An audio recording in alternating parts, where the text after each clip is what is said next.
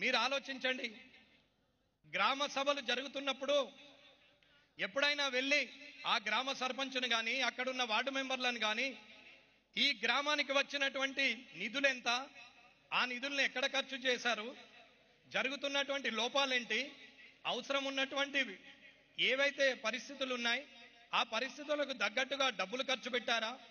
లేక ఆ డబ్బుల్ని వృధా ఖర్చు చేశారా? లేక రాజకీయంలో ఉన్న వ్యక్తులు వాడుకున్నారా అనేది ఏ ఒక్క గ్రామ సభలో కూడా మన విద్యార్థులు యువకులు యువతులు ఎవరు కూడా పద్దెనిమిదేళ్ళ పైబడి ముప్పై ఐదేళ్ళ వరకు ఉన్నటువంటి ఏ వ్యక్తి అక్కడికి వెళ్ళడు. గ్రామ సభ నడుస్తుంది గ్రామ పంచాయత్ సెక్రటరీ ఉంటారు మనం వెళ్ళాం. అలాగే విద్యా కమిటీ ఉంటుంది. పేరెంట్స్ వెళ్తారు. కనీసం మనం చదువుకున్న స్కూలు మనం చదువుకున్నటువంటి స్కూల్లో కనీసం ఆ గోడలకు సున్నముందా? ఆ బ్లాక్ బోర్డుకు నల్లడిది రంగు వేశారా? కనీసం మన పిల్లలకు సక్రమంగా పాఠాలు చెప్తున్నారా? సమయానికి వస్తున్నారా? వచ్చినటువంటి పరేడ్ క్యాపిటల్ ఏదైతే ఉంటుందో ఆ పరేడ్ క్యాపిటల్ ఆ ఖర్చు కూడా ఆ ఒక్క స్కూళ్ళకి ఖర్చు పెడుతున్నారా లేదా?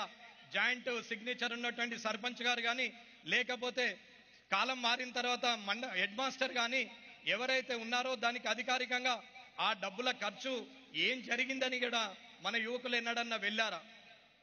లేదే కోఆపరేటివ్ సెక్టార్ ఉంటుంది.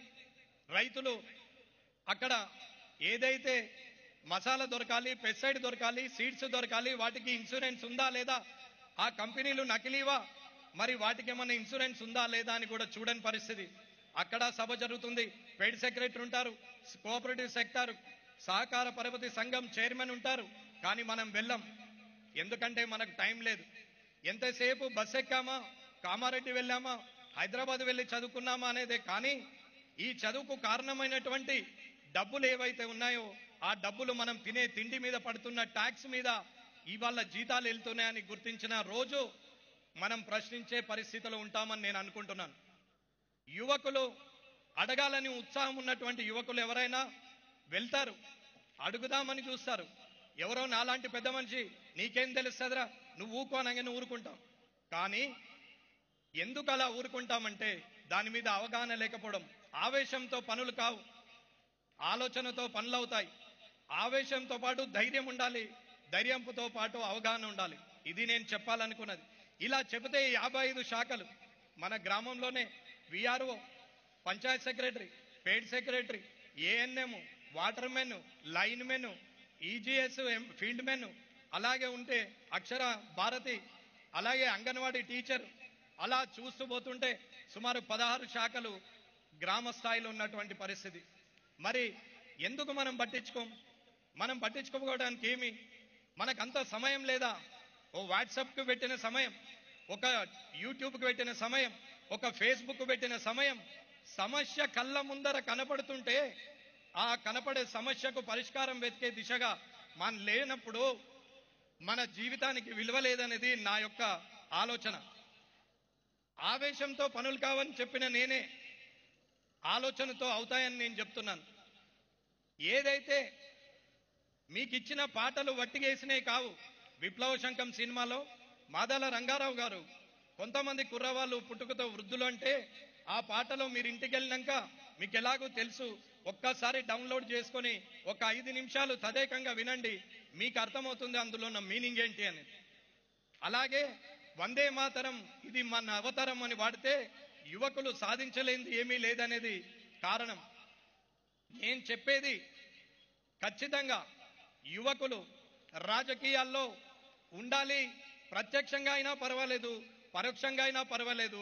కనీసం ప్రశ్నించే రీతిలో మనం ఉంటే ఎట్టి పరిస్థితుల్లో కూడా జవాబుదారీతనం ఉంటుంది.